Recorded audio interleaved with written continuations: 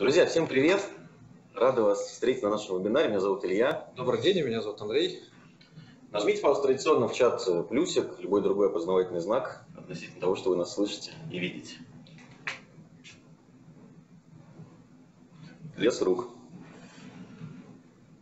Мы с Андреем сегодня будем рассказывать про коммуникационное оборудование для сферы гостеприимства. Новая интересная тема, надеемся, вам понравится. Взяли с собой Актеля, он тоже любит путешествовать, будет нам периодически помогать во время вебинара. Пока пускай сидит здесь. Ну, давайте начнем. Ждать больше никого не будем. Время 12.03 уже.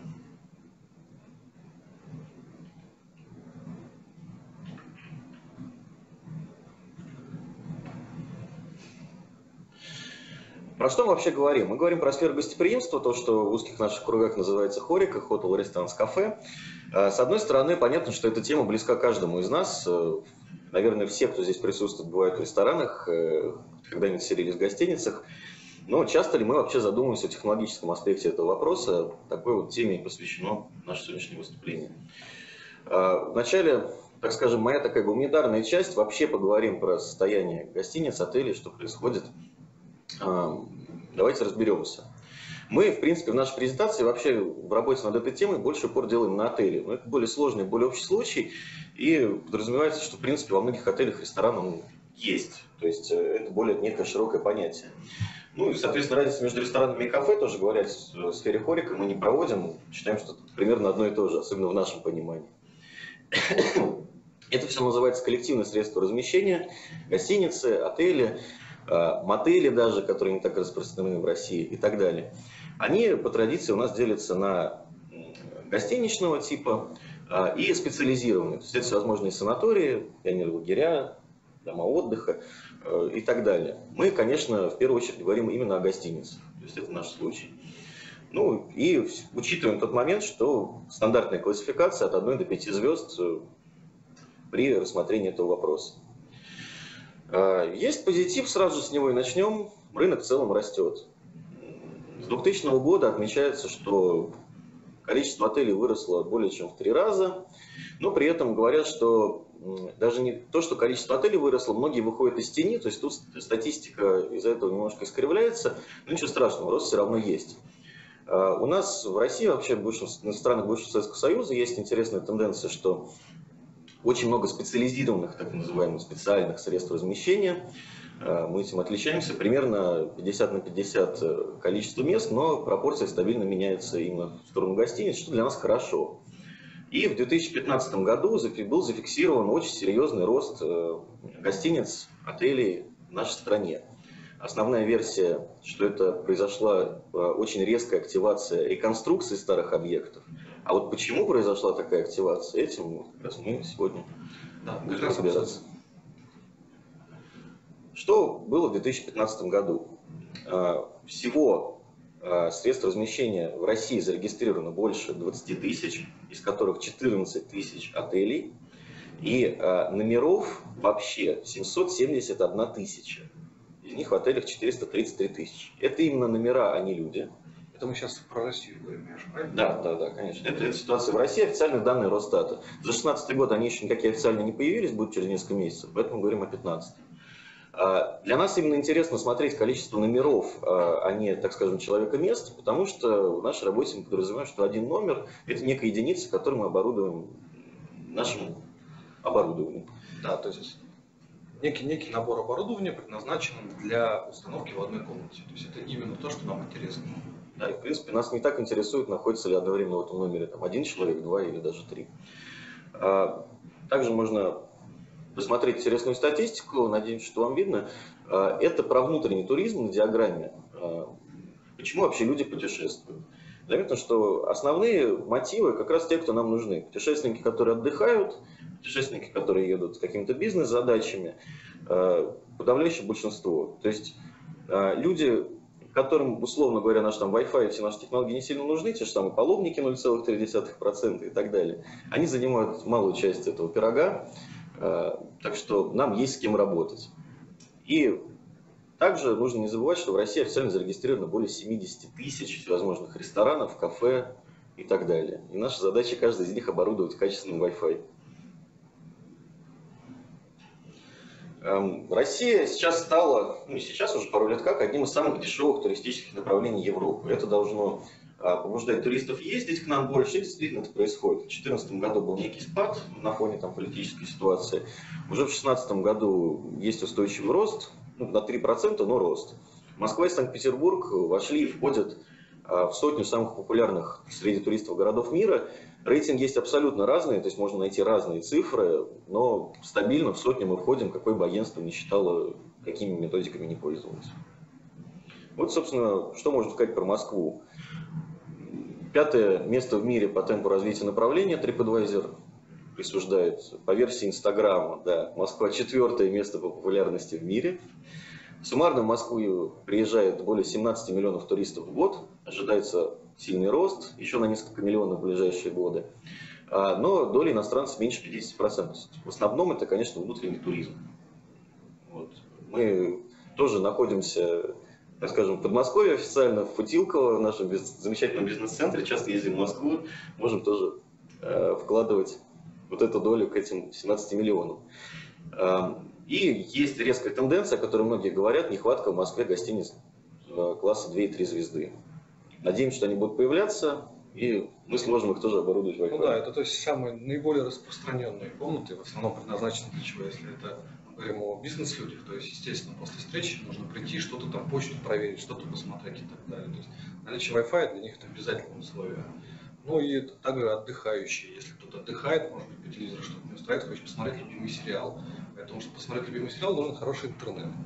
Вот как раз про это мы сегодня расскажем более детально. Кратенько по Питеру тоже есть повод для оптимизма. Спад 2014 года преодолен, в том числе благодаря резкому росту количества туристов из Азии. А, здесь эта статистика, да, по Питеру, что есть конкретные цифры иностранцев, сколько приехало, тоже меньше 50%, но все равно почти 3 миллиона человек, это много. А, и даже Санкт-Петербург получает всевозможные награды, например, лучшее направление для туризма по версиям различных агентств, различных премий. В общем, есть надежда на лучшее и то, что все будет еще лучше. И интересно, что третье популярное направление – Дальний Восток. Ну, понятно, какие иностранцы туда ездят, почему Владивосток является категорически популярным направлением. Э, китайцы хотят посмотреть на Россию, им очень близко до Владивостока. Вот, например, в 2016 году на 77% выросло количество иностранных туристов. То есть рост почти в два раза, это очень круто, много. И можно надеяться, то, что на Дальнем Востоке будет э, большой бум туристов, еще больше, и, соответственно, тоже строительство новых э, объектов сферы гостеприимства. Какие вообще у нас есть драйверы роста? Почему мы позитивно говорим о том, что в будущем мы должны ждать чего-то хорошего, в том числе в нашей сфере? А, ну, конечно, просто присоединение, скажем, Крыма э, не только экстенсивно увеличило количество отелей в России, но и интенсивно тоже. То есть там э, есть некое развитие. Кризис – это момент э, для развития внутреннего туризма, особенно при э, ситуации, когда в Египет, в Турцию ограничена возможность ездить.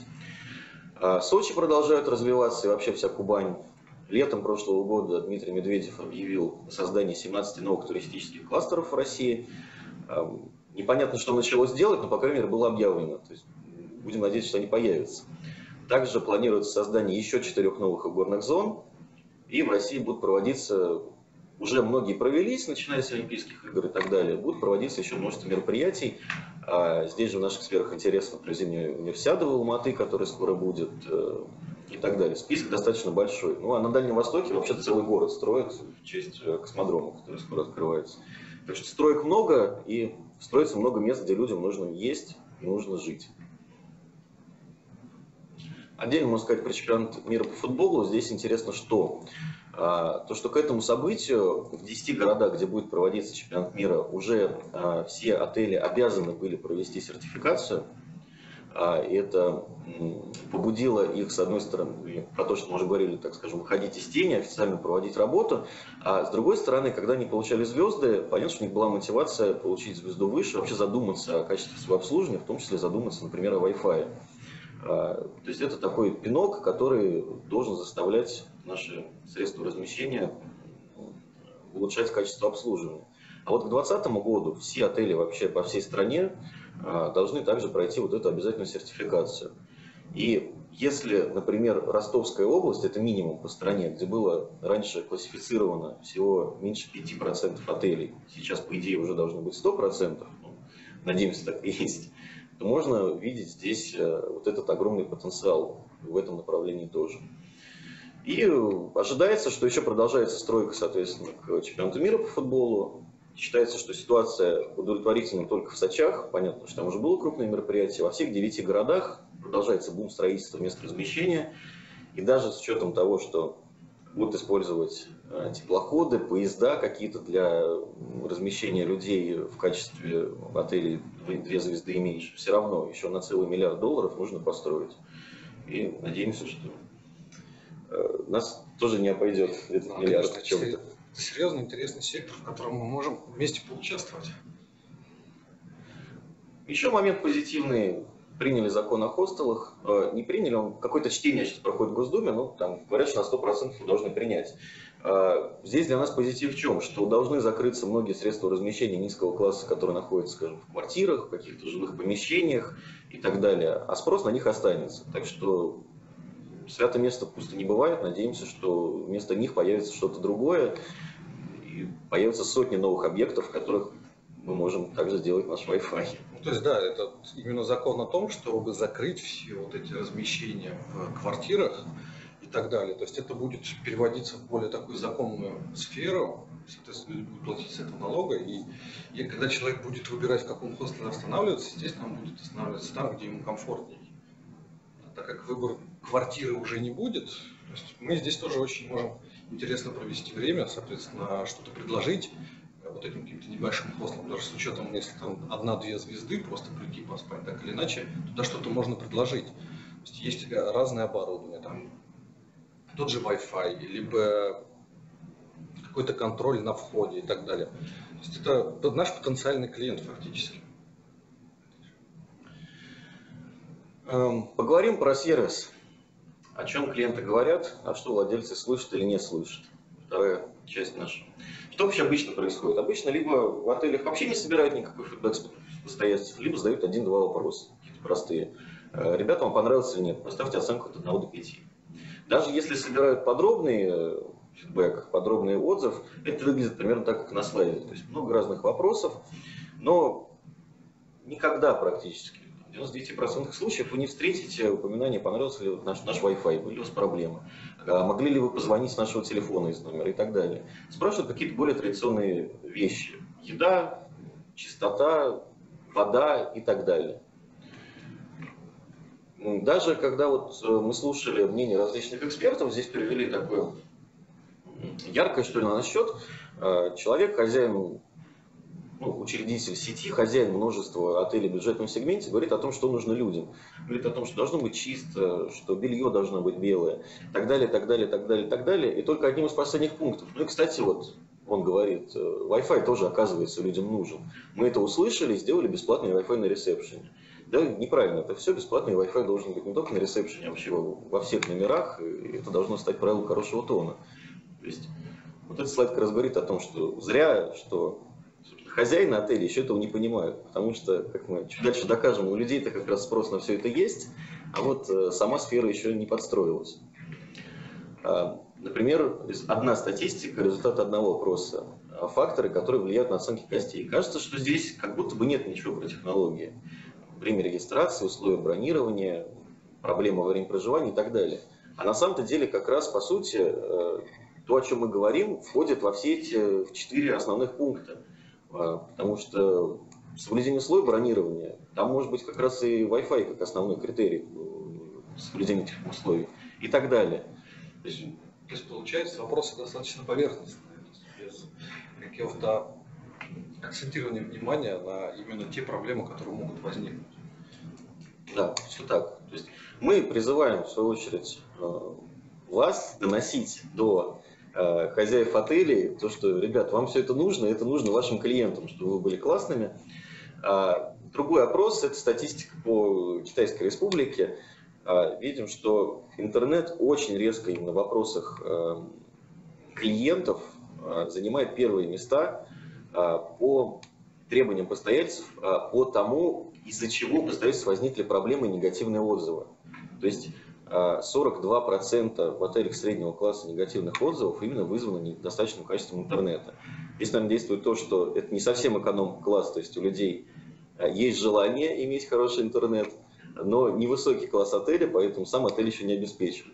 Получается такая да, ну, даже если посмотреть на эконом-класс, то там 30 с лишним процентов все равно недовольны. Вот так, так или иначе. Да.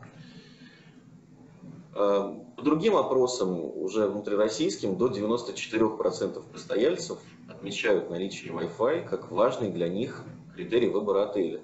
А, понятно, что на самом деле, если мы сейчас вот среди нас проведем опрос, наверняка все вот 20 человек, которые нас сейчас слушают, скажут, что для вас, для них Wi-Fi важен. У нас будет стопроцентная э, выборка, да, не очень репрезентативная, а, но действительно, молодые люди, бизнесмены и так далее, для них это крайне важно. То есть, может быть, там действительно вот эти 0,3 паломников, э, люди, которые ездят в специализированные средства размещения, вроде санаториев, там, люди старшего поколения, э, в пионерлагерях Wi-Fi в принципе может быть запрещен и так далее. Это вносит свои вот эти 6%, но почти 100% людям это нужно. Это критично важно для путешественников, это критично важно для бизнес-аудитории э, и при проведении каких-то ивентов. То есть от этой проблемы уходить нельзя, нужно что-то делать. И еще один интересный показатель, а как сейчас в Москве, собственно, обстоят дела. Мы видим, что на сайте э, hotelwifi.test.com собираются данные по качеству Wi-Fi в различных отелях в различных городах. А, из э, полутора тысяч отелей, которые в принципе есть в Москве, э, только 73 прошли этот тест. Это маленький показатель, э, в разы меньше, чем в городах Европы Америки, но все равно можно даже по этому количеству сделать интересные выводы, что только в 4 из 16 пятизвездочных отелей Wi-Fi соответствует какому-то достаточно высокому уровню, 3-3,5 балла. То есть по, по их, по их э, ротации 5 это такой недостижимый идеал, этого нет вообще ни одного отеля в мире. 4 это прям очень хорошо, 3 нормально. То есть только 25% пятизвездочных отелей соответствуют э, э, этим критериям. Те же самые 25% у них вообще нет Wi-Fi, то есть люди не смогли под, э, подключиться, это оценка меньше двух. В, среди всех отелей, то есть не только пятизвездочных, но вообще мы видим, что есть один отель в Москве, который получил оценку 4 и при этом 30% а, получили минимальную оценку меньше двух. То есть есть куда стремиться, и надеемся, что мы вместе всю эту ситуацию исправим. И подходим уже а, к собственных оборудованию, вообще на что мы можем повлиять, э, где мы можем помочь хозяевам отеля, чтобы их клиенты их любили. Ну, конечно, это качество Wi-Fi, про что мы говорим, в широком смысле качество связи, а, цифровое телевидение даже с помощью нашего оборудования, когда прокладывается сеть. А, вопросы безопасности, то есть это как наблюдение, то есть видеонаблюдение, так и, соответственно, физическая защищенность людей с помощью домофонов.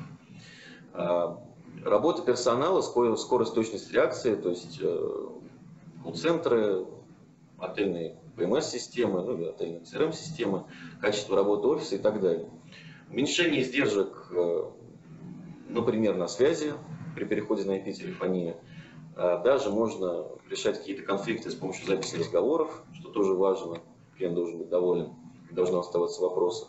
Возможность предлагать дополнительные услуги, такие как бесплатный межгород, например. Если хозяин понимает, что действительно стоит копейки, то почему бы и нет? А для клиента это может быть важным критерием, почему можно выбрать именно этот отель.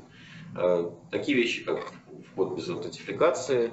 А, для сети это важно, потому что, например, человек в одном городе прошел аутентификацию при подключении к Wi-Fi, приезжает другой, и его телефон сразу видит сеть. Ну, приятно и прикольно.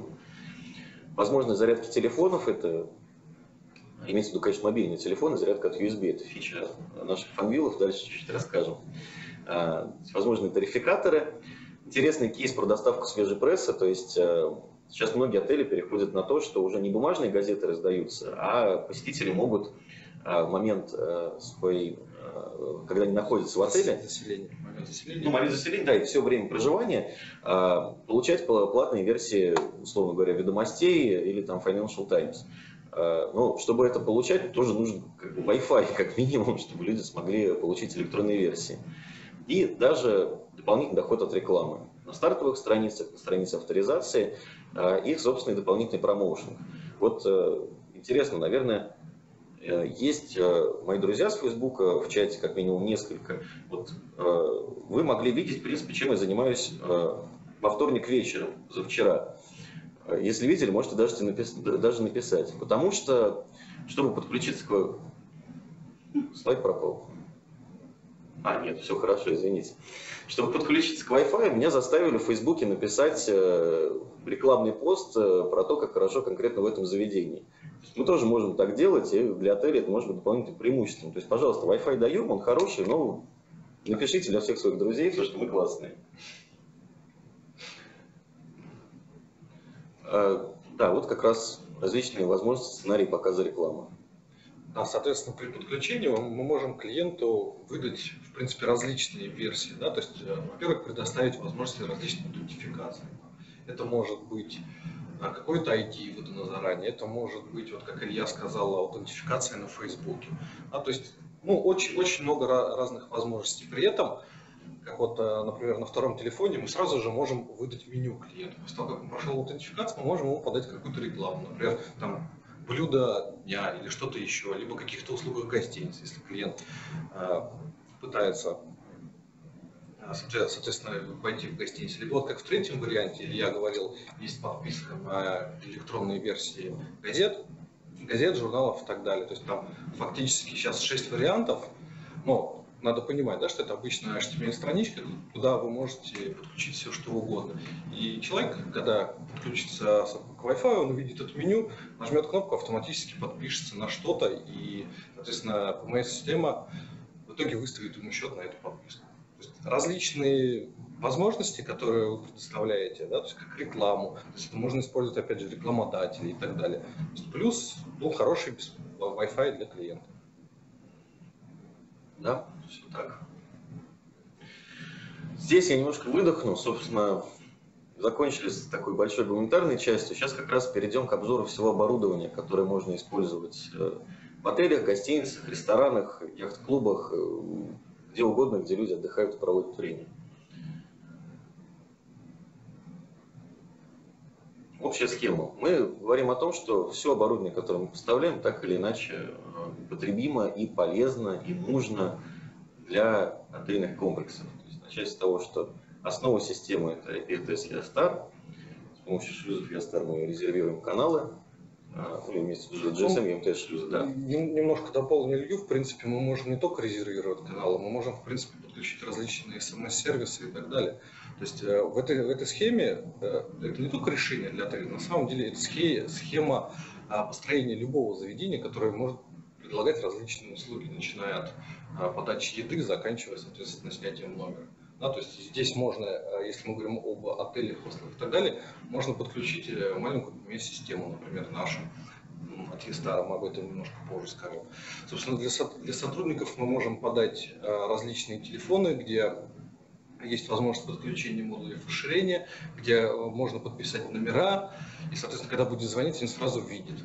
А, либо быстрый какой-то набор, ответ, решение быстрых вопросов. То есть э, перевод звонка одной кнопкой. Если э, звонит, например, э, в рум-сервис, а у него вопрос там относительно еды, он может легко переключить на ресторан и получить ответ. То есть такие вот какие-то общие простые вещи можно внедрить. Плюс, если у нас гостиница гостиница, которая может предоставить различные услуги для бизнес-клиентов. Соответственно, это какие-то различные аудиоконференции, это может быть и видеоконференция. Соответственно, это некое помещение, в котором э, должно быть оборудование, проекторы, видеоконференция, а, соответственно, опять же, телефоны, дистанции и так далее.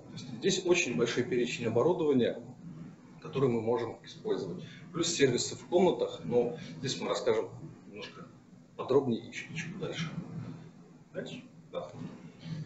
Начнем с чего? С компании TGNet. Я думаю, сейчас Андрей лучше, чем кто бы то ни было, расскажет про эту составляющую. Держи пока. Ну, на, на самом деле, почему мы э, решили стартануть с компанией TGNet? Потому что все же, наверное, это, как мы пытались вам показать на предыдущих слайдах, это очень важная часть, которая отвечает именно за интернет. Я, как человек, который достаточно много путешествую и останавливаюсь в различных гостиницах, для меня реально важный фактор того, что какой есть Wi-Fi. Потому что это связь не только по работе, да, это возможность, грубо говоря, по видеосвязи позвонить домой, посмотреть на своего ребенка, там, пообщаться с женой и так далее. То есть Wi-Fi это уже та часть нашей жизни, без которой мы, нам уже сложно ее представить. Это хорошо, если вы по России, там, с мобильного телефона вы можете это сделать. А если вы уезжаете там куда-нибудь, например, в Крым, то там уже с этим проблема. То есть мобильный интернет уже не позволит там сделать качественный звонок, например, мне домой по видео и посмотреть, чем там занимается мой ребенок, как он улыбается и так далее. Это важно. Поэтому э, при выборе оборудования мы достаточно внимательно подходили к различным компаниям, потому что выбор был очень большой. Мы остановились на компании TGNet по той простой причине, что первое – это компания, которая полностью занимается разработкой оборудования сама, то есть там нет никаких купленных движков и так далее. Второе, у нее есть своя линия сборки, соответственно, они сами собирают. То есть это два важных фактора, которые могут повлиять на качество решения. Да, то есть если вдруг какая-то проблема возникнет, мы можем ее быстро решить. То есть фактически вот это повлияло на наш выбор. Награды. Следующее, следующее, да, то есть это тоже, что немаловажно, это внутренние награды. А до этого бренд в основном работал с внутренним рынком и немножко работал с английским рынком. Мы, наверное, так о них и узнали. И вот эти все награды, которые вы видите, там Best Wireless Network, это, наверное, одна из серьезных таких наград в нашей области, э, которая отвечает именно за построение Wi-Fi, именно за качество Wi-Fi, именно за то, за то оборудование, насколько оно надежно работает. Ну и различные еще дополнительные награды. Нет, ну конечно, у компании на самом деле наград намного больше. Мы здесь на этом слайде их привели три значимые и, ну, и на сфере гостиничного бизнеса. То есть э, так-то можно список продолжать куда, куда больше и рассказывать о всех достижениях TGNet, но не, не сейчас, ну, Да, да, для у нас поэтому будет отдельный вебинар. Вот именно вот эти комплексные награды, именно вот эти три награды, именно отвечают за вот именно тот сектор, о котором мы сегодня разговариваем. Ну и Следующее. А, тот список оборудования, который мы можем предложить. А, во-первых, это коммутаторы споя. Да, то есть, э, так как технологии развиваются, хочется что? Минимизировать расходы на монтаж. Да, в том числе это проводка кабелей. Соответственно, что предлагается? Предлагается использовать коммутаторы споя, когда вы один провод заводите куда-нибудь в помещение и, соответственно, получаете и электричество, и интернет одновременно. А при этом список коммутаторов у нас достаточно большой, от 4 портов до 24 портов на данный момент с мощностью от 60 до 450 Вт. Для чего нужна такая мощность? А, скажем, если вы строите видеонаблюдение, а в, отельных, в отельном бизнесе видеонаблюдение это, наверное, тоже немаловажная составляющая, потому что это наблюдение холла, это наблюдение коридора, это наблюдение парковки и так далее. А, камер потребляет достаточно много. Поэтому наши поликоммутаторы, которые с поддержкой 450 Вт, мало того, что они, а, дадут ту мощность, которая требуется, б, у них есть э, такая специальная возможность, которая позволяет лучше работать с потоком данных от видеокамер. Но об этом расскажу, когда мы будем делать отдельную презентацию по коммутаторам, потому что это долго, достаточно такая емкая тема. Следующий коммутатор – это коммутатор уже без поя, на этом можно построить всю сеть. Да? А, соответственно, компьютеры, так, так или иначе, у вас есть ресепшн, у вас есть различные э, точки, которые должны быть подключены. Соответственно, здесь тоже можно... Офисные пространства. Ну, мы сейчас говорим об отелях, конечно, ну, тем, тем не менее... Ну, понятно, да, что в любом отеле все равно есть какой-то там, скажем, офисные сотрудники, которые занимаются продажами, каким-то обслуживанием. То есть это не только то, что видят клиенты, там еще есть свое, свое внутреннее, внутренняя территория. Ну да, какая-то своя внутренняя инфраструктура так или иначе есть. При этом а, Нужно еще заметить, что коммутаторы у нас есть различные, как от простых до управляемых уровня L2 и L2+. Соответственно, это тоже важно, особенно при построении Wi-Fi сети, если вам нужно разграничить, например, зону. А, например, зону для сотрудников и зону для клиентов. Да? Можно настраивать по-разному, можно предоставлять разные сервисы, разные доступы, разные услуги. И два последних, это контроллеры и точки доступа, это две такие важные основные части, на которых мы строим Wi-Fi. Соответственно, у нас контроллеры могут, э, есть две модели М3 и М5. Основная разница между ними – это количество подключаемых точек. То есть, если мы говорим о совсем какой-то маленькой гостинице, то вам, конечно же, будет достаточно 32 Wi-Fi точек, то это контроллер хостинга М3. Если мы уже говорим о каком-то если мы говорим о каком-то более-менее серьезном комплексе, то здесь желательно поставить что-то помощнее, до 512 точек. В принципе, вы можете подключить и покрыть всю гостиницу бесшовным Wi-Fi. То есть, когда у вас клиент перемещается по всей гостинице, ему не нужно переподключаться фактически. Он всегда находится в одной зоне. Он один раз подключился, и дальше начинает перемещаться по всей гостинице. Ушел себе в номер, у него работает. Ушел в ресторан, у него работает. Пошел в бассейн, у него работает. Почему это важно? Ну, не знаю, я периодически езжу на метро, и у меня наболело. Когда ты переходишь с одной ветки на другую, тебе каждый раз нужно переподключаться. А если ты смотришь кино, то, соответственно, фильм у тебя сбивается, и так и, и тебе опять переподключаться, опять подкачивать, смотреть, это трат времени, это раздражает, честно. Пешком на работу хожу, таких проблем нет. Поэтому как бы вот бесшовный Wi-Fi это очень важно, это очень сильно повышает лояльность. Плюс контроллеры это не только построение бесшовного Wi-Fi, это на самом деле контроль всей сети. То есть, когда мы говорим о комплексном решении DigiNet, то здесь э, используются и коммутаторы. И контроллер видит все. И точки доступа, и коммутаторы. С контроллера можно управлять точками доступа. Э, Также можно управлять коммутаторами. Можно устанавливать какие-то различные вариации включения, отключения. Плюс немаловажно, что еще, у нас в коммутаторах есть специальная функция, которая мониторит работу точек, ну не только точек, это же может быть еще и телефоны, мониторит работу точек и телефонов, которые питаются попой, и в случае, если устройство не отвечает, она автоматически его перезагрузит. Фактически отключит питание, подаст питание обратно.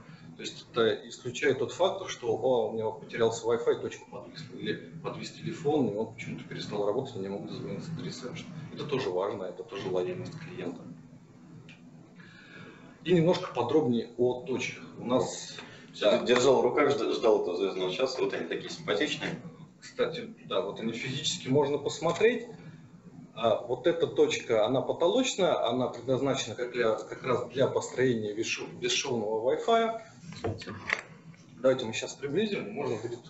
Коллеги, коллеги, извините, может, перебью. Возможно, кто-то там первый раз, так скажем, слушает наши вебинары. У вас э, в самом браузере есть стрелочки влево-вправо. Вы сами можете руководить тем, что вы хотите видеть в данный момент. Наши замечательные лица или нашу замечательную презентацию. То есть, если вдруг хотите рассмотреть крупнее то, что, то, что мы в руках сейчас вертим. Достаточно. А, Соответственно, еще раз, а, вот эта точка, вот эта модель WA2304, она как раз предназначена для построения бесшовного Wi-Fi. Она крепится на потолок, никому не мешает. Достаточно простая, э, без каких-то особых знаний можно подключить. Монтируется очень легко и просто, подключается легко и просто, очень быстро можно развернуть. Вторая точка, она уже предназначена непосредственно для самого номера. В чем ее плюс? Во-первых, у нее есть USB вход. Соответственно, можно подключить USB зарядку и заряжать телефон, планшет и так далее. Плюс, если отель все еще использует аналоговые телефоны, здесь есть спе- специальные входы, где вы можете подключить аналоговый телефон сразу. То есть вы выводите один провод, сзади есть разъемы. Через этот разъем мы можем подать А интернет, Б, соответственно, аналоговую линию. И таким образом у нас в э, гостинице образуется Wi-Fi, подключенный к нашему контроллеру, также который будет давать аутентификацию. Плюс мы уже можем использовать аналоговый телефон, если отель принял решение все еще э, оставить аналоговые линии. Плюс USB-зарядка. То есть вы, вы фактически с помощью одной точки вы получаете полный комплекс какого-то такого решения. То есть А. Телефон, Б. Wi-Fi и С. Это зарядка. Потому что ну, это реально бывает важно, когда сам с этим сталкивался, приезжаешь в гостиницу, а зарядку, которая подключается в розетку, ну, забыл. Такое случается. И что, до- до- достаешь ноутбук, подключаешь ноутбук, подключаешь телефон к ноутбуку, начинаешь заряжать телефон. Не, не, не, не- Мед- медленно да, медленно еще того же заряжается, неудобно, но че- честно, это некомфортно. Когда вот такая штучка висит, подошел, воткнул, он у тебя заряжается, это очень удобно. Как бы да, не пить, не есть, не просит, а кому-то может реально очень сильно помочь во время проживания. Просто я сам с этим сталкивался, знаю, как это влияет. давайте вернем нас опять а, планом. Да, давайте продолжим дальше. А, да. Нужно еще отметить, вот, э, вот эти точки, о которых мы говорили, они есть двух видов. Первый вид, то, что вы сейчас видите у меня в руках, а второе, то, что вы видите на картинке. Соответственно, а, здесь можно поставить захлопывающую, захлопывающую крышку, и тогда она будет выглядеть без вот этих портов, а порты все будут внизу. Плюс, а, прошу прощения, плюс они могут быть разных цветов. Соответственно, если у вас а, разного цвета гостиницы, скажем, там белые, обычные номера какого-нибудь поярче цвета какие-то номера с повышенным комфортом и так далее, мы, вы можете подобрать под свой интерьер. А, это все делается под заказ, мы можем это сделать легко и просто. Ну, немножко совсем технических данных. Стандартная схема подключения, собственно, в такой сети. Да, есть некий маршрутизатор, он же роутер. Далее ставится контроллер, и за контроллером подключается все наше оборудование, которое фактически Э, собирает нашу сеть. Это тот первый слайд, о котором мы с Ильей говорили. Это очень много всего разного. То есть это более схематично. Контроллер, э, дальше у вас подключается контроллер более высокого уровня, который распределяет VLAN и так далее. И дальше уже у нас поет коммутаторы, камеры, бесшовный Wi-Fi, видеонаблюдение, какой-то сервис телефонии для ресепшена, для номеров. И следующий слайд – это схема построения бесшовного Wi-Fi на нашем оборудовании. В принципе, он чем-то схож, только в коммутаторы мы уже подключаем сами точки доступа. Точки доступа лучше подключать по витой паре, просто при таком подключении вы, а, не теряете скорость, потому что если вы подключите по воздуху, в принципе, что тоже можно, но тогда вы потеряете ровно половину скорости, что не есть хорошо, и если у вас будет большое количество подключений на точку, точка может просесть. А, то есть раз, разводится схема, в серверной устанавливается маршрутизатор, контроллер, дальше устанавливается POI коммутатор. Если у вас несколько этажей, вы можете либо э, развести проводку, либо на каждый этаж поставить по коммутатору. Все зависит от того, какое количество комнат нужно покрыть.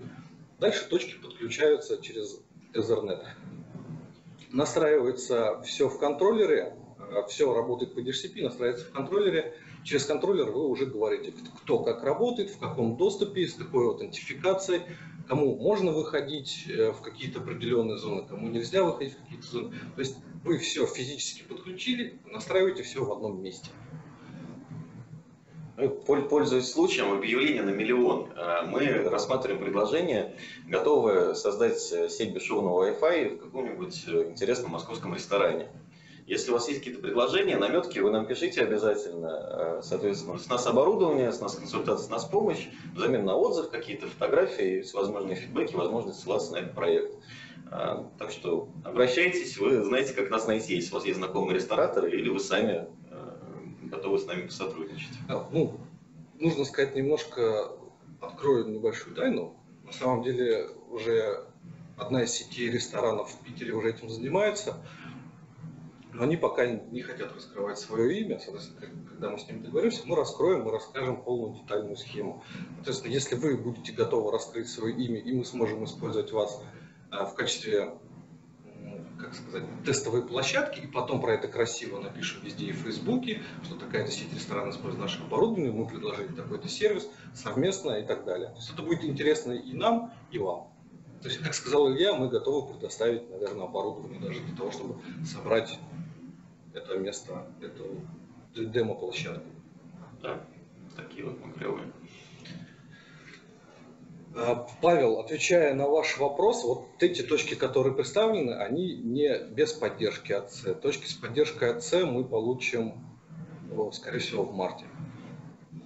То есть, смотрите, АЦ-точки по-хорошему можно использовать, даже нужно использовать, но э, так как сто, стоимость этого решения невысока, в принципе, это можно компенсировать достаточно, ну, как большим количеством точек. Не то, что прям большим количеством точек. Если вы на этаже поставите там две точки где-нибудь, ну, в начале, ну, в конце, то этого будет более чем достаточно. На каждую точку подключается до 30, до 30 клиентов, может подключиться. То есть совокупно 60 клиентов, 60 человек на этаже. Это очень много. Мы не говорим о каких-то реально грант-отелях очень больших. То есть наш, фактически наш клиент, как мы говорили изначально, это небольшие гостиницы, это частные гостиницы, это офисные здания и помещения, это хостелы. Да. А про точки САЦ, когда мы их привезем на склад и протестируем, мы сделаем отдельное объявление, у нас будет отдельный вебинар на эту тему, и, соответственно, у нас это все появится в новостях. Давай перед фамилом выдохнем 20 секунд. Я просто э, вижу, что у нас полная комната, и вообще э, был интерес к этому вебинару. Мне люди рассказывали, что специально там курсы испанского прогуливать, чтобы послушать. Но вот кроме Павла вопросов ни у кого нет. Может быть, э, можем отвлечься сейчас э, и по горячим следам на что-то вам ответить. Если что, то, пожалуйста, пишите в чат, мы в режиме реального времени читаем. Ну, пока нет, значит, да, ничто не мешает нам, собственно, перейти к Фанвиллу тоже уже известная компания, топ-3 производителя IP-телефонов в мире, ну, по крайней мере, они сами себя так позиционируют, почему бы нам им не верить. Настоящий конкурент Елинк и Поликома. Мы с ними работаем именно в направлении отельных телефонов, и сейчас представляем вам эту новую линейку, обреченную на успех, как э, э, сам Фанвил нам про это говорит. А, здесь четыре модели. А, давайте тоже немножко, наверное, сразу их покажем. А, вот, собственно, они у нас есть. Да, здесь представлено три. Ну, я думаю, вас это не сильно расстроит, на картинке вы можете все четыре посмотреть. А, просто запомнив модельный ряд, а, H от слова хотель, H1, H2, H3, и если вы думали, что H4, нет, H5. Это, это топовая, топовая модель линейки. А, соответственно, самое бюджетное исполнение, самый простой телефон, но при этом качественно исполненный H1. В нем есть 8 программируемых кнопок, один аккаунт, поддержка POE и, что важно для отелей, возможность э, кастомизации лицевой панели. А, это бумажная кастомизация, то есть нужно так, на аналоговых носителях изменять информацию, а, но да, сам скажешь. Ну, нужно сказать, да, что в поставке идет уже фактически пустой лист с шаблоном. Да, то есть вы, когда получаете телефон, вы можете сделать сами все, что вы захочете. Вы можете туда вставить свой логотип, вы можете подписать э, кнопки так, как вам нужно, так, как вам удобно, так, как вы хотите. Э, другие вендоры это делают несколько иначе. Вы сразу заказываете на складе, соответственно, что не на складе, а у производителя, грубо говоря, что увеличивает стоимость. В нашем случае, во-первых, это не увеличивает стоимость, а во-вторых, вы это можете сделать как вам угодно как ваш дизайнер рисует, как вы это видите сами и так далее. То есть это очень важно. Не нужно что-то переделывать, не нужно доплачивать дополнительные деньги. H2 это телефон для ванных комнат. А, он чуть-чуть дороже, ну, у него тоже простой дизайн. У него всего одна программируемая кнопка, которая а, с успехом может стать именно кнопкой SOS, то есть человек там подскальзывается в ванне, нажимает, его спасают. Ну, как один из вариантов, ну, конечно, лучше бы такое не происходило. Да, немножко добавлю, этот телефон реально предназначен именно для помещений с паром, то есть фактически для ванны. У него есть степень защиты влагостойкости. И, как уже Илья сказал, кнопка SOS. Да? Вы можете споткнуться, удариться, ну, все что угодно может произойти, не дай бог. Но, тем не менее, такие телефоны, если вы бывали в отелях, они устанавливаются где-то вот э, на уровне 45-60 сантиметров. То есть, если вы вдруг упали, сломали ногу, руку протянули, достали, нажали. Да. Ну, соответственно, Это... возможность крепления на стену для тоже удобства его размещения. Эм, в, так скажем, не, там, не люксовых, ну, среднего класса отелях можно себе представить, что в каждом номере должно быть по-хорошему два телефона. То есть H1 стоит где-то около кровати, H2, соответственно, в ванной. Такой вот набор. H3 это а, со схожим функционалом с H1 модель, но более продвинутая, элегантная, так скажем, вариация. Больше программируемых кнопок 10. Уже есть возможность э, зарядки мобильных телефонов э, по USB, то есть непосредственно в телефон втыкается. Как вот э, приводили пример, что, соответственно, с помощью Wi-Fi точек доступа можно заряжать телефоны. То же самое можно это делать с помощью настольного телефона.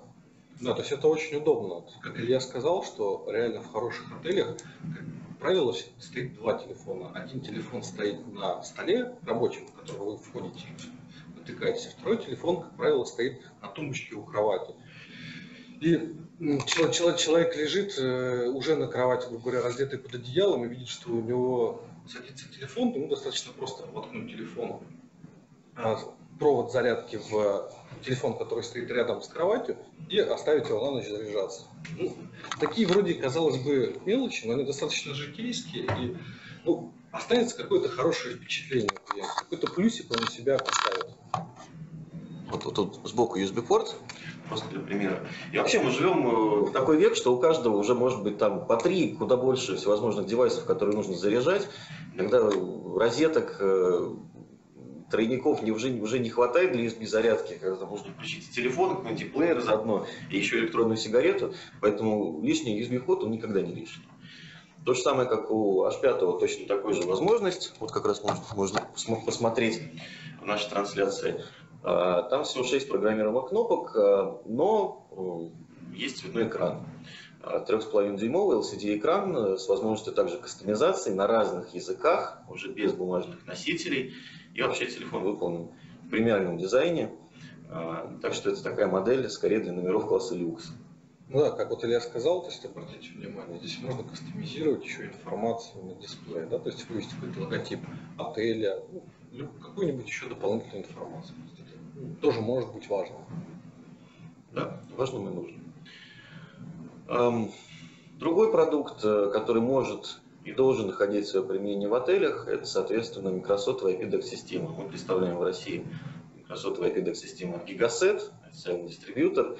А, это идеально подходит для а, тех сотрудников, которые постоянно перемещаются. То есть уже не нужно пытаться до кого-то там до горничной, до какого-нибудь смотрителя, человека, который по этажам ходит, дозвониться на мобильный или заставлять ходить с рациями, что уже много лет как всех раздражает. Э, люди могут ходить с дек-трубкой, еще и красиво выглядящей, и, и наслаждаться качеством связи, что э, качество работы, эффективность работы сотрудников также повышает. Да, хочу добавить, что вот на этой системе на этой системе можно подключить до 100 трубок и до 30 базовых станций. Что немаловажно, базовые станции подключаются не по воздуху, они подключаются, соответственно, по, по проводам, Ethernet-проводам. Да? Опять же, здесь тоже можно сделать разграничение по сотрудникам, по секторам, как, как, как угодно. Это это важно. Да? Плюс э, телефоны есть с IP-защитой IP65, что немаловажно, особенно для, наверное, горничных, которые постоянно ходят с колясками, уронила, сломала, уронила где-нибудь в ванне, об кафель ударила и так далее. То есть, если мы делаем какое-то решение интересное, то это решение должно быть, во-первых, не только не сильно дорогим, но оно должно быть и полезным, и должно как бы использоваться, что называется, на полное этим решением мы можем э, закрыть все вот эти пункты. Во-первых, телефонизировать э, тех же горничных, которые постоянно помещают, перемещаются по этажам. Опять же, пример на себе, когда тебе нужно выехать в гостинице, на, рецеп, на ресепшене тебя не отпустят, пока э, горничная не позвонит из номера и не скажет, я проверила номер. И, и бывает так, что ты сидишь, э, звонишь горничной, ее нету, она куда-то ушла, 15-20 минут сидишь или стоишь около ее двери, ждешь, когда она вернется это тоже как бы оставляет такое не, не очень, скажем, положительное ощущение, особенно когда ты опаздываешь, что внизу стоит такси и трафик уже тикает. То есть, опять же, да, это удобство, это надежность, это решение, которое позволит быть сотруднику более доступным, что немаловажно. Более мобильным, да. Более доступным, более мобильным. Эм, на самом деле, мы не ставим сейчас перед собой цель подробно рассказать про все наше оборудование, мы скорее делаем обзор. Но вот в том числе и про Гигасет есть замечательный уже проведенный вебинар, и запись лежит на нашем канале на YouTube. Э, заходите, смотрите, подписывайтесь на наш канал, ставьте лайки. Там подробно э, все было рассказано, так что кому интересно, есть все возможности изучить эту тему. Ну, дальше пойдем. Для промышленного оборудования также есть свое применение. Ну да, конечно, это же лобби, не знаю, бильярдные, да все что угодно. То есть телефоны общего доступа. Ну, вот красненькие, если вы обратите внимание, часто используют там в банках или в отелях, когда вы входите, и у вас где-то там висит телефон какой-то быстрой связи. Да, то есть это ну, все, все, все что угодно. Либо, э, соответственно, все погодные защищенные телефоны, которые можно использовать на тех же парковках. Вы подъехали на парковку, у вас есть какой-то какой вопрос, да? что где обычно происходит. Вы машину паркуете, встаете, идете куда-то на ресепшн, узнаете что-то там, а могу я припарковаться, сколько это стоит и так далее. Здесь можно просто нажать кнопку, получить всю нужную информацию. Опять же, это удобно и это дополнительный сервис. Да, подробный рассказ про Джейндары, устройство этой компании также есть на нашем YouTube-канале. Вот сейчас наша коллега Алена выложила ссылку прямую, так что заходите и смотрите. А также, а много чего еще на самом деле, а также. Эм, про э, видеонаблюдение мы сейчас не будем говорить подробно, про это тоже есть целые отдельные э, Вебинары, ну, понятно, что это важно, что нужно наблюдать и записывать то, что происходит. Видеоконференц-связь важна в отелях, в конференц-комнатах, в переговорных комнатах, особенно когда это некий премиум класс. Это, это да, это скорее, наверное, для бизнес-сектора, потому что ну, очень, очень многие люди приезжают в какой-то город и проводят какие-то конференции. Соответственно, им нужно что-то оборудование. И очень хорошо, когда мы можем предложить людям э, часть уже находится в этом городе, кто-то приехал, кто-то не смог по каким-то причинам приехать. Ну, все что угодно может быть. Могут семейные проблемы, заболел, ногу сломал, все что угодно. Да? И когда отель может предложить своим говоря, клиентам, тем более если это бизнес клиента, соответственно, они там будут тратить много денег, потому что аренда зала, аренда оборудования, это все как бы какие-то деньги стоят. И тут такой дополнительный сервис, вы можете подключить своих удаленных сотрудников, чтобы они тоже могли поучаствовать. Это же интересно, это возможно, уже возможно. Про телефонные станции я старый IP-телефоны Ялинк, в принципе, уже вначале сказали, нам повторяться не будем. Опять же, у нас немножко, прошу прощения, я то, что я перебиваю, у нас есть э, в принципе, по всем продуктам у нас есть на нашем YouTube-канале информация. Да? Мы сейчас пытаемся сказать, на чем можно построить. Естественно, да, когда мы говорим об отелях, э, станция, которая предоставляет возможность соединения клиентов с персоналом, это важно.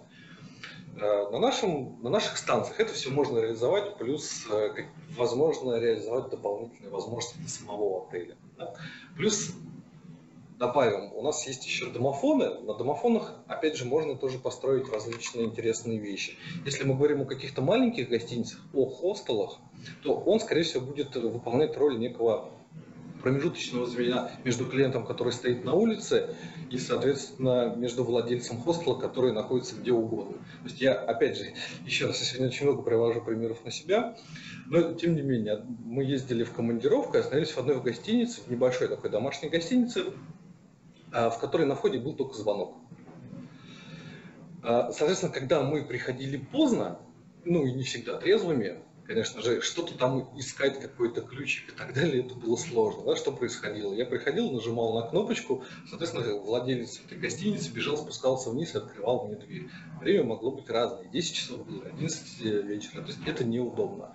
С домофоном, который имеет какой-то код, э, тем более, если есть видео, человек в таком состоянии, что может нажать только одну кнопку, это будет очень полезно. А? Когда уходит звонок, человек где-то там на планшете или на телефоне получает Э, вызов и видит в камеру, кто там пришел, либо это новый клиент, опять же, да, клиенты могут приехать в любое время суток, либо это уже как бы имеющийся клиент.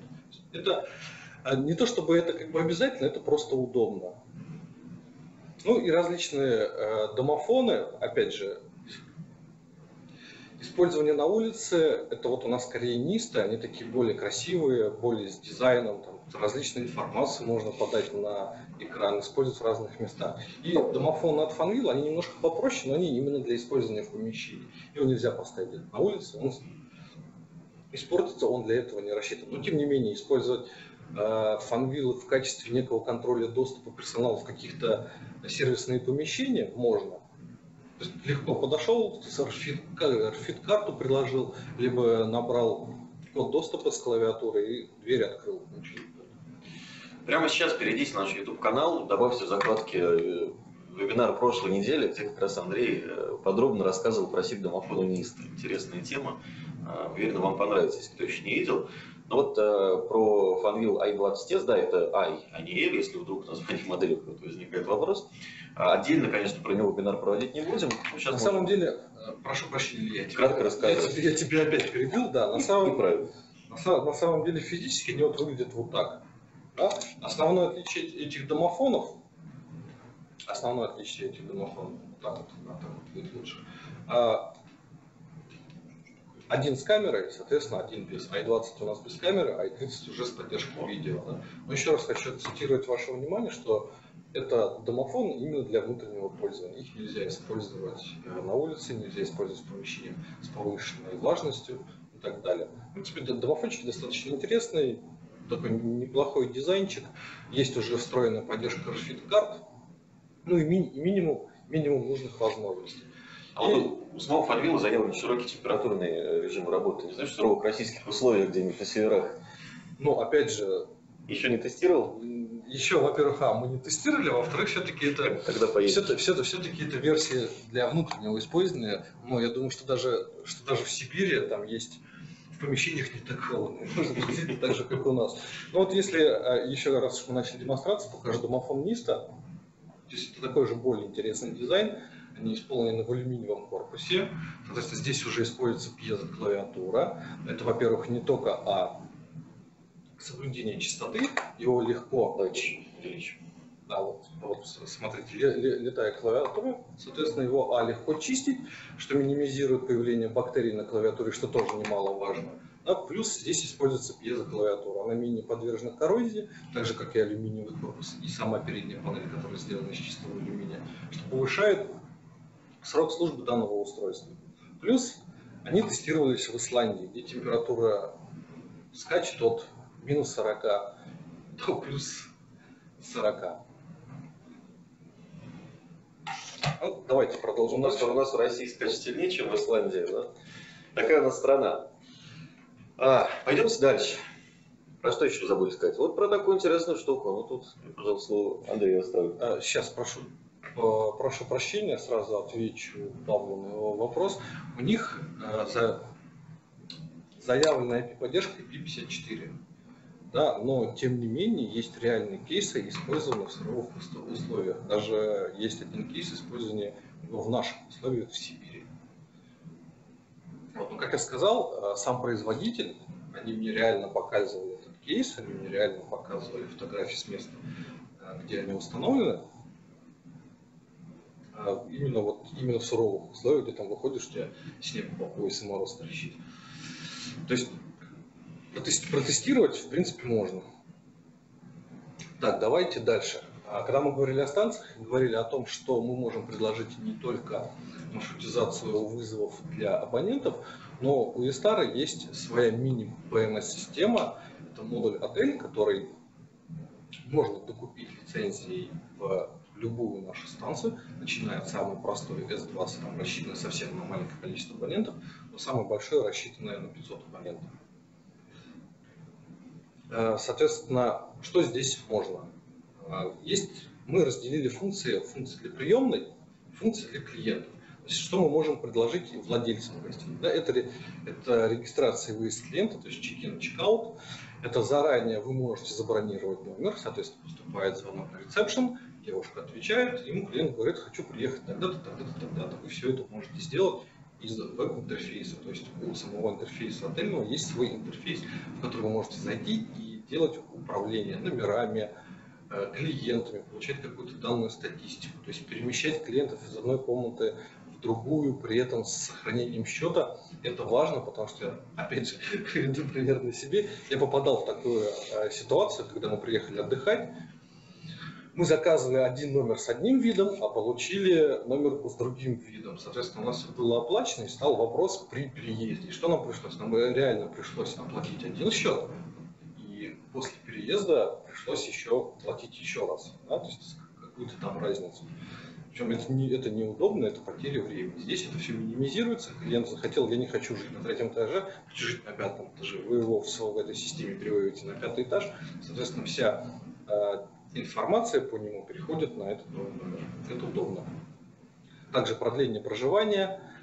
А, Можно создавать группы по классу комнат. То есть, как мы говорили раньше, есть различные комнаты. Есть комнаты люкс, есть комнаты с повышенной комфортностью, есть свадебные номера, там, а, есть для попроще, где людям нужно только просто переночевать. То есть это также все настраивается, вы можете привязать какие-то номера, вы можете туда привязать различные сервисы, в том числе и установка различных тарифов на вызовы. Да, там, скажем, если у вас VIP номер, то вы можете ему предложить бесплатные вызовы там, куда угодно. Если у вас номер, который попроще, который подешевле, вы можете там завысить немножко стоимость звонка ну, на усмотрение.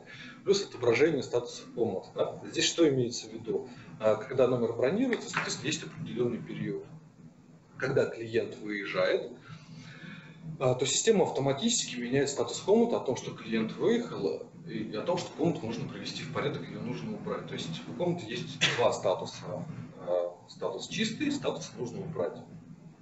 То есть это тоже важно. Это важно скорее для девушки ресепшн, которая отвечает за ресепшн и за бронирование, тем более за въезд клиента, когда он въезжает, она видит статус комнаты, чистый или грязный. Наверное, не очень было бы приятно, если клиент э, вселяли в номер, в котором был грязный. Да, там остались что-то после предыдущего клиента.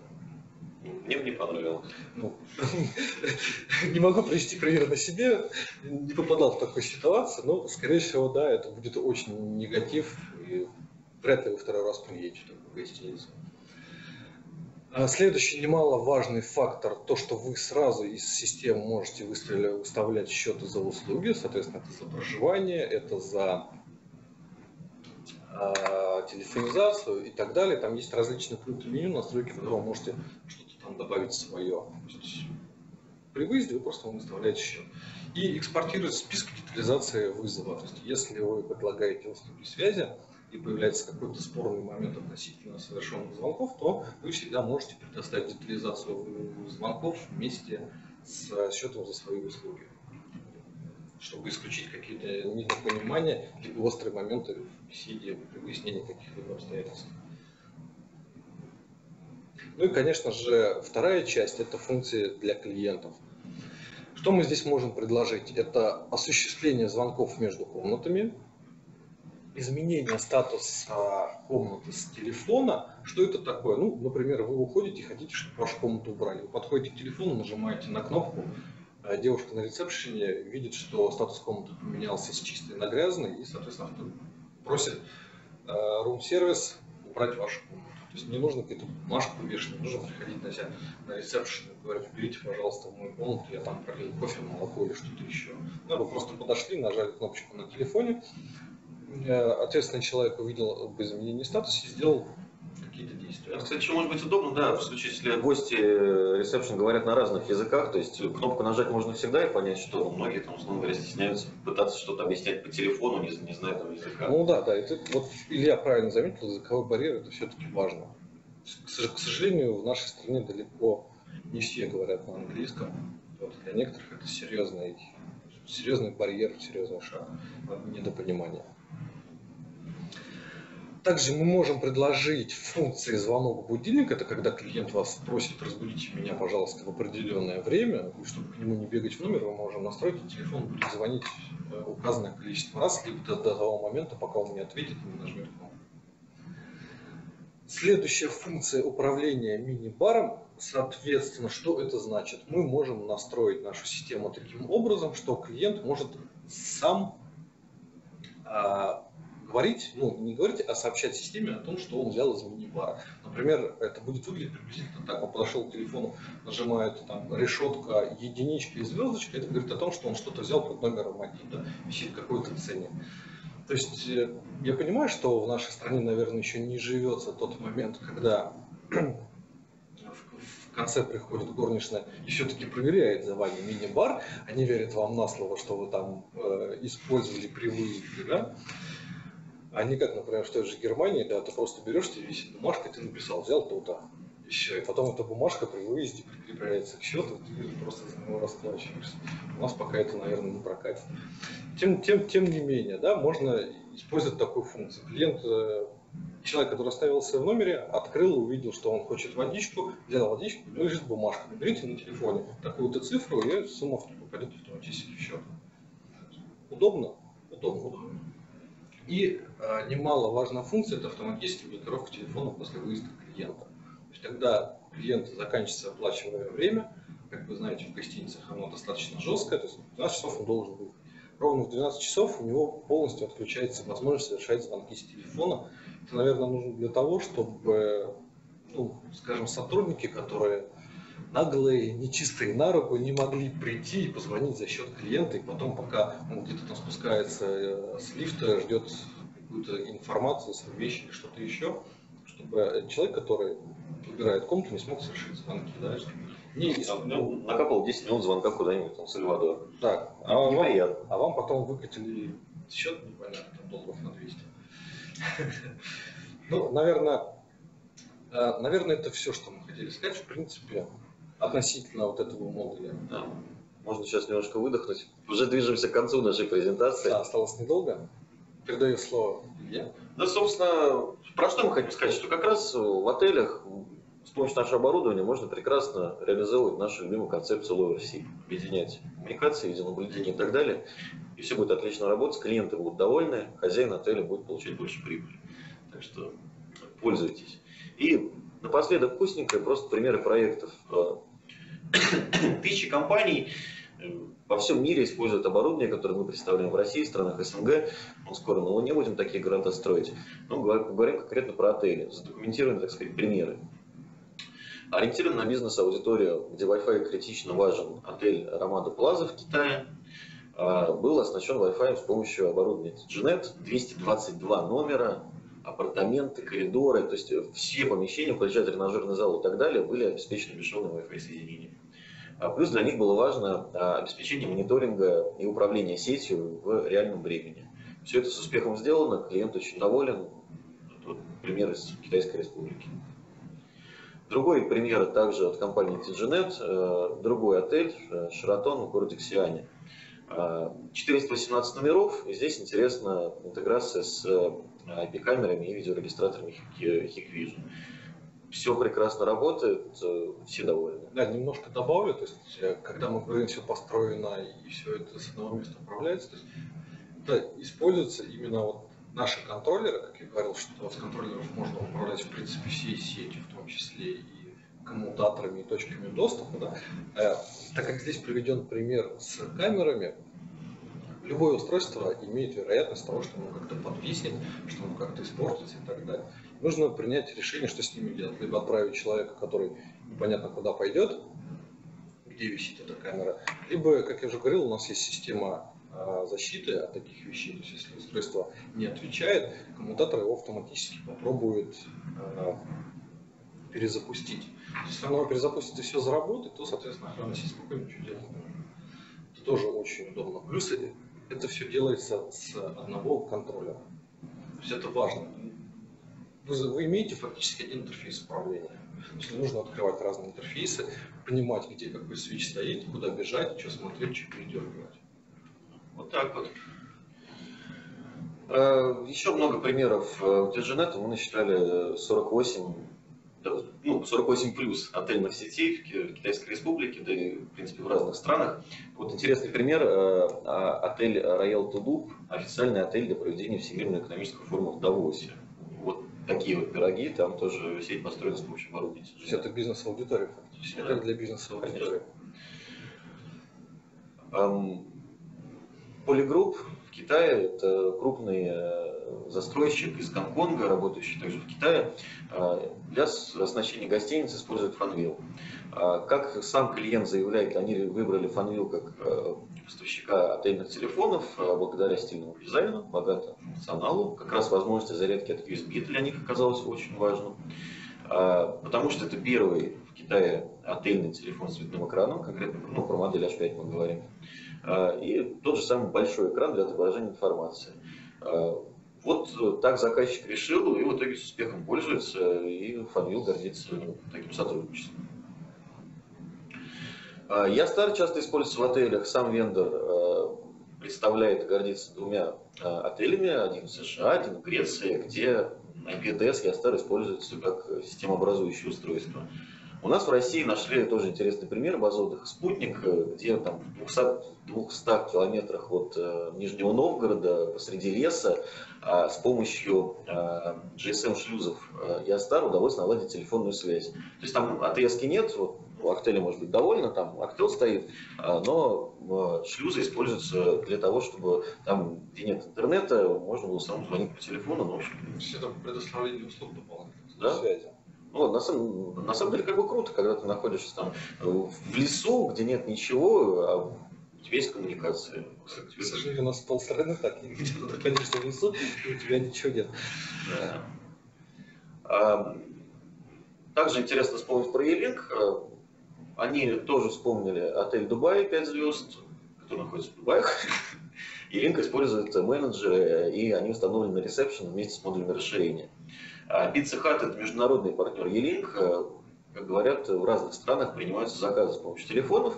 У нас в России яркий пример про пиццу Доминос. Были кто-нибудь? Знаете такую? В Москве, по крайней мере, точно достаточно распространена. Там мини-колл-центры на всех прилавках устроены с помощью именно телефонов E-Link. То есть в таком динамичном колл-центре, конечно, нельзя пользоваться гарнитурами, это неудобно, все сотрудники постоянно движения, они должны одновременно реагировать и на звонки, и на клиентов, которые пришли в офлайне. А, для них удобно, что стоит надежный телефон, в ряд 5-6, в зависимости от площади, а, и, соответственно, в любой момент можно поднять трубку. Вот такие вот 21-е стоят в каждой пиццерии, лишний раз нас рекламируют. Все. Мучили вас больше часа, надеемся. Да, коллеги, если, Все не зря. Да, если есть какие-то вопросы, давайте обсудим. Мы сегодня открыты к диалогу. Вопросы можно задавать прямо в чате. И, кстати, э, Павел, э, у нас, в принципе, есть, опять же, да, немножко на YouTube, на наш канал. У нас есть очень подробный, интересный вебинар по НИСТе. Если вы еще не видели, можете познакомиться. Что, коллеги, поставьте, может быть, плюсик, если у вас нет вопросов, просто чтобы мы понимали, ждать, не ждать. Ой, спасибо. Всегда, кстати, открыты к тому, чтобы проводить вебинары по каким-то заявкам, если есть какая-нибудь интересная тема, которая вам нужна, которую хотите послушать, мы рассмотрим все ваши варианты.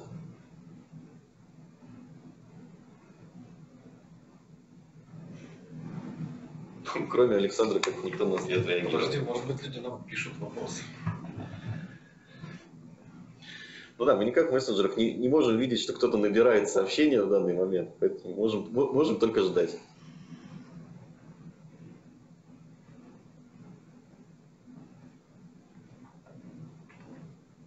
Ну, наверное, стоит сказать, что этот вебинар тоже будет запись, он также появится на нашем канале. Если вы вдруг хотите, захотите вспомнить или посмотреть, либо получить еще какую-то информацию, которая была упущена по каким-то причинам, также сможете посмотреть.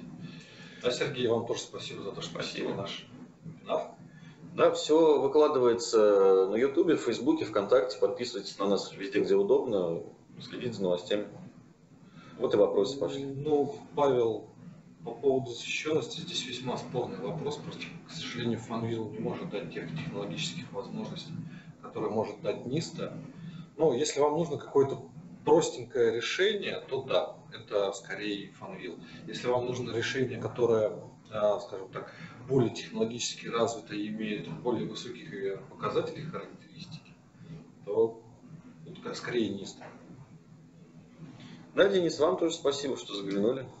Всегда рады. Что, все, наверное? Ну, коллеги, еще раз. Если вдруг у вас, ну, мы прекрасно понимаем, что целый час мучили, если у вас какие-то появятся вопросы, к сожалению, Илья указал только свой почтовый ящик. Но тем, тем, тем не менее, вы можете, да, да, вы можете написать Илье, и, соответственно, мы постараемся на все вопросы, которые у вас появятся в дальнейшем, ответить.